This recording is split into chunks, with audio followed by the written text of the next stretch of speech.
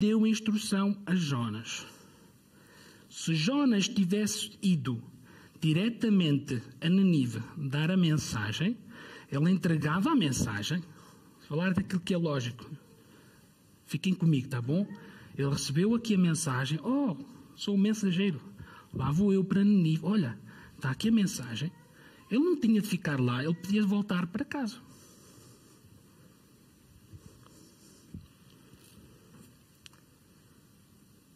Seria tão simples se ele tão somente seguisse a instrução de Deus.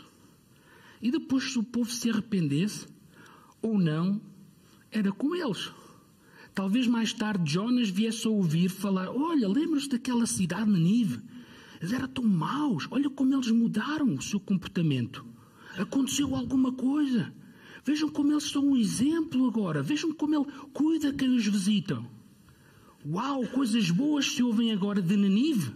Aconteceu alguma coisa.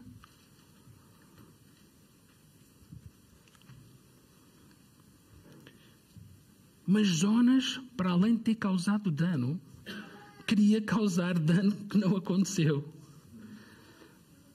É interessante ver como ele depois também argumentou com Deus, quando Deus o chamou para ir a Nanive. Ou seja, ele tinha uma mensagem para entregar e ele estava a dizer a Deus: Olha, Deus, eu sabia que tu os ias perdoar, é por isso que ia para Tarsis. Mas a instrução não foi para ir para Tarsis. Agora, uma coisa: se ele tivesse entregado a mensagem, se ele não tivesse entregado a mensagem, será que o povo se ia poder arrepender? Não. O povo só se arrependeu porque ele foi entregar a mensagem. O povo só mudou o seu comportamento porque creu na mensagem que o mensageiro entregou.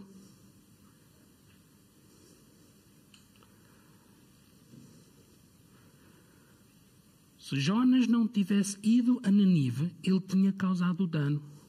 Ou seja, a cidade nunca ia entrar em arrependimento, iria continuar nos seus costumes. Aquilo que eu quero transmitir em relação aqui a esta parte é que Deus também traz às nossas vidas Nanive pessoas. Em Nanive estavam 120 mil pessoas que precisavam de ouvir a mensagem. Mas era preciso que o mensageiro fosse lá. Então Deus está a falar hoje. Há pessoas na nossa vida que são Nanive. Também há pessoas na nossa vida que são Tarsis. Nós precisamos de ouvir de Deus, porque Deus deu-nos foi Nanive, não foi Tarsis. E nós precisamos de entregar a mensagem de Deus a Nanive. Porquê? Porque eles precisam de ouvir a mensagem para que neles haja arrependimento. E eu gostava de ouvir um amém. Quando Deus dá uma instrução e essa instrução é para ir para Nanive, sabem que há uma coisa que ele não fez, foi ficar em casa. Interessante, ele foi fazer outra coisa, foi fazer diferente. Mas sabem que ele, se tivesse ficado em casa, ele também não estava a cumprir aquilo que Deus lhe estava a dizer para fazer. Ou seja, o que é que eu estou a querer dizer com isto? Quando Deus dá uma instrução, não é para as coisas ficarem na mesma. As coisas não ficam neutras. Ou se faz aquilo que Deus disse, ou se não se fizer aquilo que Deus diz, causa-se dano. Para a semana nós vamos falar da bênção, hoje estou a falar do dano. Quando não fazemos, as coisas não ficam paradas. Causamos dano. E Deus está a dizer hoje aqui a cada um de nós, para nós estarmos atentos. Quando Ele fala algo específico à nossa vida, nós devemos agir para que não causemos o dano. O outro ponto aqui que eu quero falar é o causar o dano no sentido. Lembram-se quando ele estava no barco? Lembram-se como os outros estavam todos no barco com Jonas? Vocês sabem que nós temos pessoas na nossa vida que vão no mesmo barco que nós? Ah, eu fiz uma coisa errada, mas eu, eu responsabilizo-me pelos, pelos erros que eu faço. Ora, muito bem, era só o que faltava, nem sequer te responsabilizares pelos erros que fazes. É? O problema nem é esse. O problema é nós termos o cuidado se aquilo que fazemos causa dano àqueles que estão no mesmo barco que nós. Essa é que é a grande questão. Jonas no barco, ele até sabia que tinha feito mal, caladinho. Eu acho que ninguém se está a ver como Jonas, não é? Porque estamos a apontar para Jonas. Caladinho, eu é que fiz mal, mas as pessoas à volta dele estavam a sofrer o dano de ele não estar a seguir a instrução de Deus. Alô? E não adianta escondermos. Então eu quero dizer nesta manhã: não te escondas. Não fiques só a pensar, eu sei, até sei que fiz mal. Deus, Deus, Deus sabe que eu fiz mal. Ele, a questão não é essa. Não penses tanto só em ti, meu amigo. Meu irmão, minha irmã, cuidado. Aquilo que tu fazes causa dano às pessoas que estão à tua volta. Não depende de ti. Porque a instrução de Deus, como eu disse, quando a gente a segue, é de bênção. Mas quando nós não seguimos a instrução de Deus, o dano vai ser causado. Alô? Estão a ouvir convites de ouvir. Outra coisa que eu encontrei aqui na passagem é que ele também sofreu o dano. Eu não consigo imaginar o que era estar dentro de um peixe. Às vezes só de ficar dentro do elevador, nunca vos aconteceu que estão a carregar no botão e aquilo começa ali em, em ai, que isto vai subir, vai ficar parado, vai o quê? Nunca vos aconteceu isso? Dentro do elevador uma pessoa já fica assim, eu vou tentar não imaginar como é que seria o ambiente dentro daquele peixe. Mas acho que não era muito agradável. E agora Jonas estava a sofrer o dano. Mas se nós olharmos para a oração dele, e por isso eu estava a brincar com a oração dele, é que ele nem citou arrependimento. Ele nem sequer articulou as palavras de arrependimento. Ele pediu socorro a Deus. Isto fez-me lembrar que às vezes nós precisamos de parar para pensar. Quando nós estamos a sofrer o dano, será que quando buscamos a Deus nós temos mesmo este sentido de ok, estou a sofrer o dano, o arrependimento de ok, eu não quero estar nesta situação e preciso que Deus me livre desta situação? Ou será que o nosso arrependimento nos leva a um lugar de nos acertarmos com Deus? Um bocadinho mais na atitude que o povo de Nanive teve. Em que eles mostraram arrependimento não apenas por palavras, mas Deus olhou e viu: opa, eles não estão só a montar aqui o cenário. Olha como eles estão a vestir, olha como eles estão a jejuar, mas não foi apenas uma coisa para, como diz os nossos irmãos brasileiros, para mandar ver. Não foi só para mandar ver. Deus olhou e viu que o seu comportamento tinha mudado. Quando estás aflito e Deus vai em teu socorro, Tu buscas a Deus para te livrar da situação ou porque realmente estás arrependido e queres mudar de vida? Essa é a grande questão. Nós vimos que Jonas não estava a mudar de comportamento. Ele até argumentava com Deus. Eu conheço algumas pessoas que também gostam de argumentar com Deus.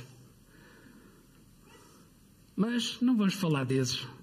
Vamos falar de Jonas, não é? Hoje é acerca de Jonas.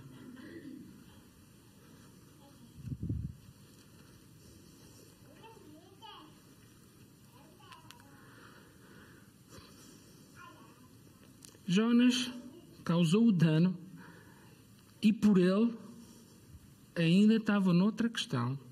É que por ele aquelas 120 mil pessoas bem que podiam Eu às vezes dou comigo a pensar.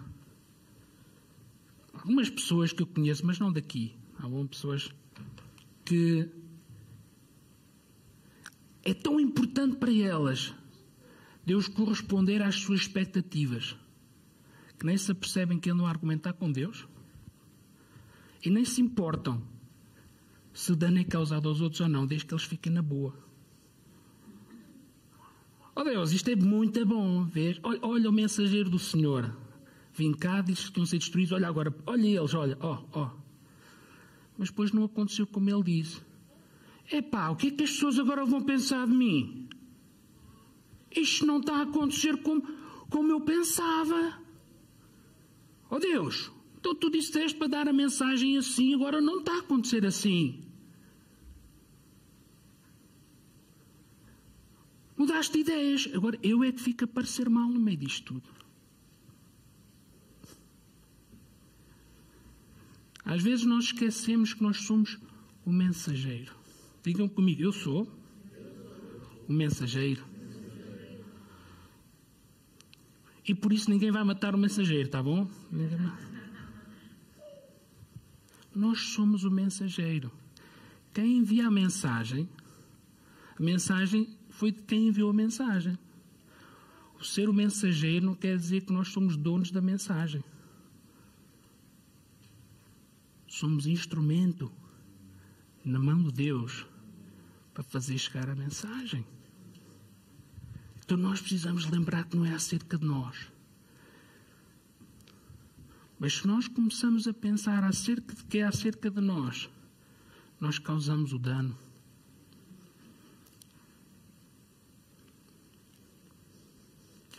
Deus enviou-me para orar por aquela pessoa e ela não foi curada.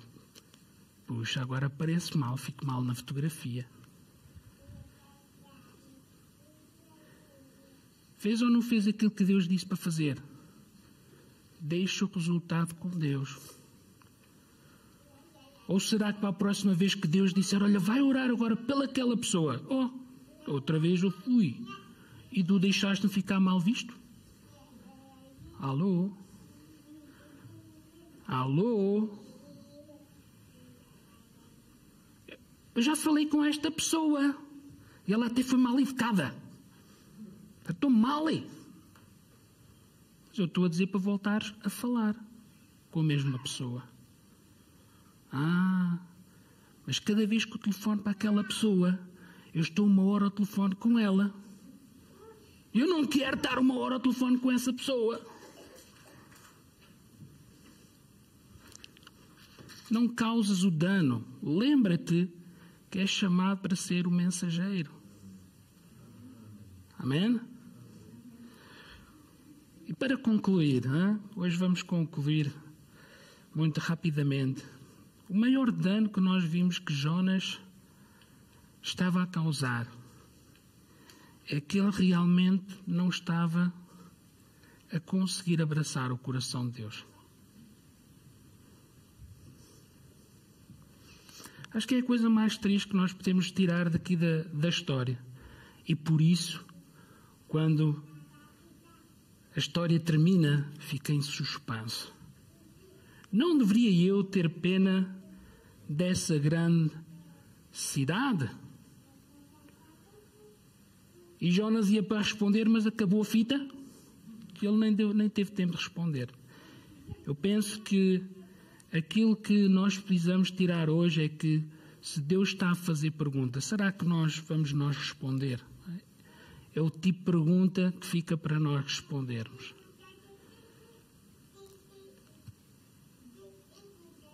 Eu penso que Jonas ficou um bocadinho aquém de ficar a conhecer ou chegar a conhecer aquilo que estava no coração de Deus. Perdeu-se em muitas coisas no caminho a história tomou uma dimensão tão grande porque ele, de alguma forma, queria fazer as coisas ao seu jeito.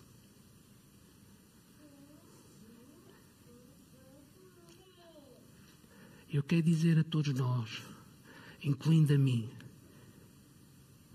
quando se trata de seguir a instrução de Deus, é simples. Ouçam, é simples. Simples no processo vai até Nanive e diz isto.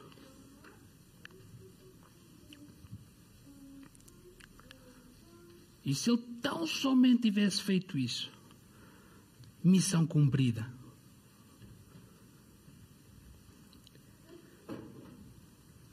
Eu não sei por onde andas, eu não sei se ainda andas a caminho de Tarsis. Eu não sei se estás no, na barriga do peixe. É engraçado, mas pensem nisto a sério. Onde é que tu estás? Estás à beira-mar depois de ter sido cuspido o peixe. Onde é que está a tua atitude? Como é que estás a nível da atitude? Quando nós falamos de arrependimento, ou de verdadeiro arrependimento, é uma coisa que nós não nos arrependemos por fora, com a expectativa que isso venha mudar aquilo que está cá dentro. É, exato, é exatamente ao contrário. O verdadeiro arrependimento fala de mudança de mentalidade. E quando nós mudamos a nossa forma de ver as coisas, na prática as coisas vão começar a acontecer. Por isso nós vimos o, o comportamento de Jonas depois de sair da sua situação de aflição e nós vimos o comportamento do povo de Nanive depois de ter recebido a mensagem, a forma como eles se comportaram, porque tiveram uma mudança de pensamento. Nós precisamos de renovar o nosso entendimento pela palavra de Deus. Ou seja, seguindo a instrução de Deus para a nossa vida.